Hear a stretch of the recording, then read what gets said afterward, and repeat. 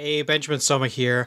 I wanted to explain an aspect of the chord player that might not be as intuitive, but when you grasp it, it will help you to play your chords much more like a real pianist. Now, of course, we know that pressing a pad will play that pad's notes of the chord, and then you let go and those notes stop. Now, what if we were to play two pads with overlapping tones and then let go of one of the pads? All the overlapped notes are stopped because they were part of this chord that got stopped. And all we have left is just the high note of this chord. Let me show you on the keyboard what just happened there. The first chord was this, and the second chord was this. So if we play them together, and then we stop the first chord,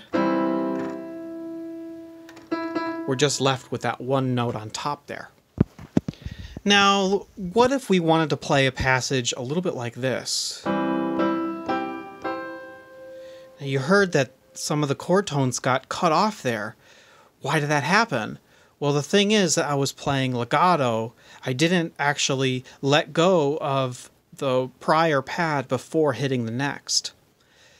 The thing is that a keyboardist only has so many fingers on their hand, so they're usually going to lift their hand in between each chord.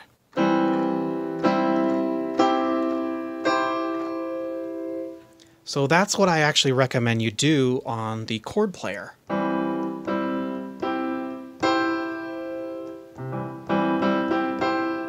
Now you can get it to sound a little smoother like a legato by using the sustain pedal.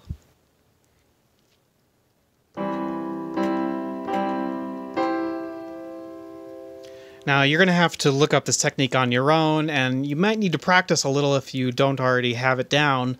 I know I did. But the idea for a pianist is you strike the note while the sustain pedal is lifted, and then before you lift your hand, you hold the sustain pedal, and then you can reposition your hand, and then simultaneously, when you hit the next chord, you'll lift the sustain pedal. And then you can press it again before letting go of your chord. So that way you get the smoothness between each chord.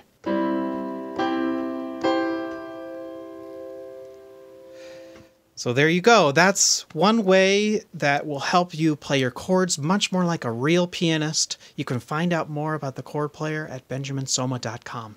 Enjoy!